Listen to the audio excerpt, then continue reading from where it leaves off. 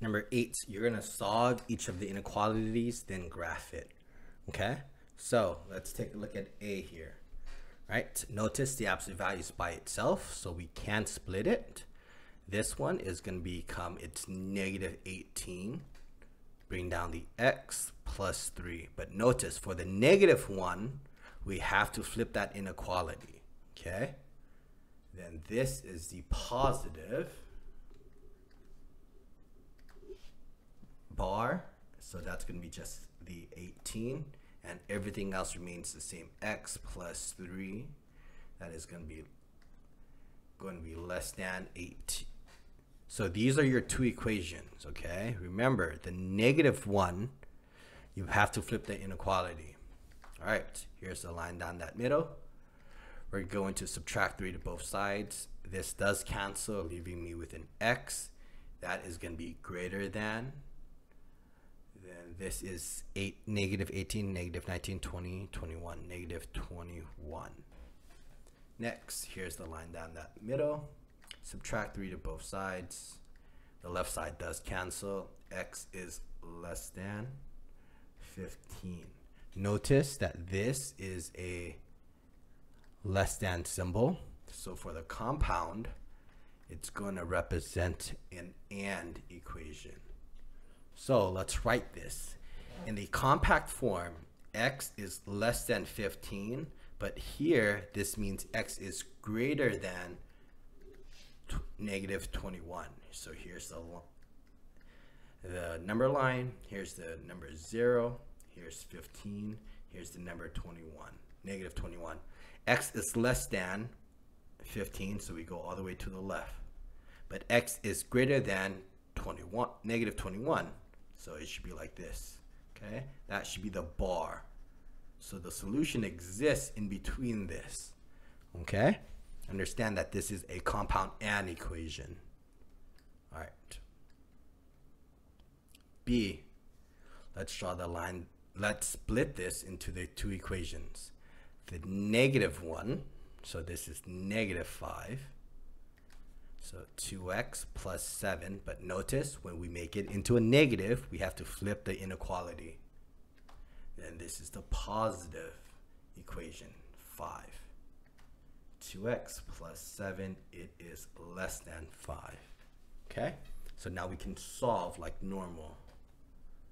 We're going to subtract 7 to both sides. This cancels on the left. You get 2x is less than negative 12 then divide by 2 to both sides. 2 over 2 cancels.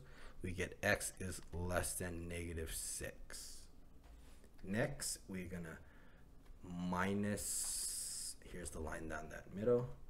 We are going to minus 7 to both sides. You get 2x. It is less than negative 2. Then we're going to divide 2 to both sides. This cancels, leaving me with an x. It is less than negative 1. Notice this is a greater than symbol. Okay? Because it is a greater than symbol, it is going to be an OR compound. So this is an OR compound. So to graph it, x, here's the negative 1, here's the negative 6, and here's the 0 x, it is less than negative 6. So here's the open circle. It goes all the way to the left because it is less than. Okay, less than. Then we see here that x is uh, also less than negative 1. So here is this, and it goes all the way to the left as well. Okay, so this is a special case one. Notice it goes all the way both to the left, right? So that would be how it looks like. Okay. All right, so let me double check here. Good. Okay, and divide by two, divide by two. Good. Oops, hold on. Did I do? Mmm, that's where I messed up. Hold on. I got the inequality wrong here. Notice the inequality is the same for the positive. Okay, so this was here. It was like this. So x was, so this is not right. So x was greater than 1. So it goes all the way to the right. Okay? Yeah. So, because it's not a special case. This is just a regular OR equation. Okay? x is less than negative 6 and x is, pos is greater than negative 1. Okay? Remember, you only flip, you only flip the negative inequality one. Let's now look at C. Okay, notice that there is the absolute value is not by itself. So we first have to add the 9 to both sides to get the absolute value by itself. Negative 9 would cancel with the plus 9. Absolute value of 5x plus 2 that's going to be greater than or equal to 18 plus 9 becomes a 27. Now you can split it into its negative equation, which is going to be negative 27. Then you also have to flip that inequality symbol. 5x plus 2 is on the left. This is on the right. This is the positive equation, which is a positive 27. The inequality symbol is the same. 5x plus 2. All right, let's solve. Here's the line down that middle. Minus 2 minus 2. This gets me 5x. It is uh, less than or equal to negative 29. Divide by 5, divide by 5. You get x. It is less than or equal to negative 29 over 5. Okay. All right, then the next one, draw the line down that middle you're going to subtract 2 to both sides. You're going to get 5x. It is greater than or equal to 25. Then divide by 5 to both sides. This cancels. 5 over 5 cancels. x is greater than or equal to 5. Okay? And if you want to graph it, let's see, this one is a what? Um, this is a greater than or equal to. So this is a compound OR equation, right? So here's the uh, here's the number line.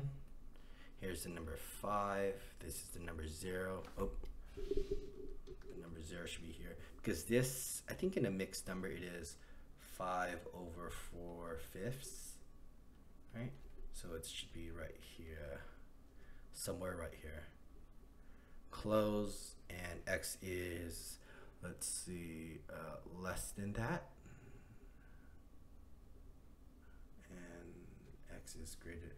So here we have, hold on, let me see. Is this an OR? This is an OR, right? Yep, this is an OR. Let me check. Uh, we have x, it is less than that, so it goes all the way to the left. Yep. Okay, x is greater than 5, so it is closed here and also goes to the 5.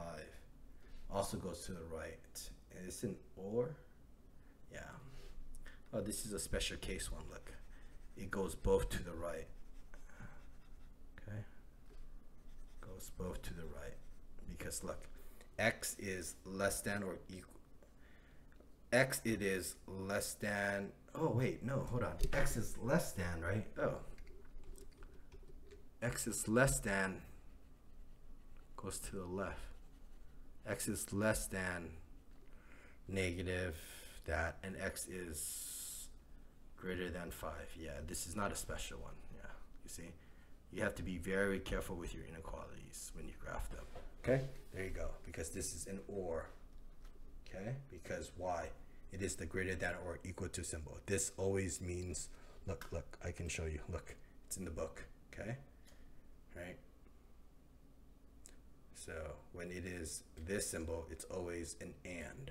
Then when it is a greater than, it is an or. So this is a greater than, so it's an or. All right. Let's look at D, okay? All right, here's the line down that middle. We're going to add 3 to both sides because, again, we're trying to get the absolute value by itself. Bring down the inequality. Absolute value, 3x plus 7 is going to be less than 8, 9, 10, 11, 11.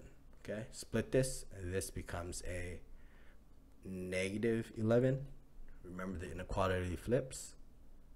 This is 3x plus 7. Then this is the positive one.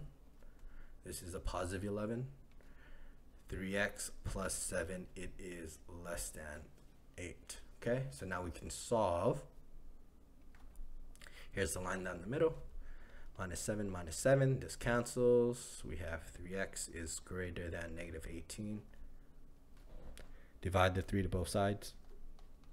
This cancels, leaving me with an x. It is greater than negative 6.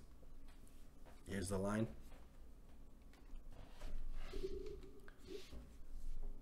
Minus 7 to both sides. This gets me a 4 on the right.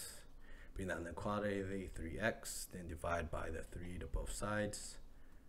This cancels. x is less than 4 over 3. Okay. Let's check what of which one this one be. This is a what? And inequality. So this me this means an and inequality. Okay, for the absolute value. So here's the number line. We want to be here's zero, here is negative six. Four thirds is one third, here's one, so it should be up here.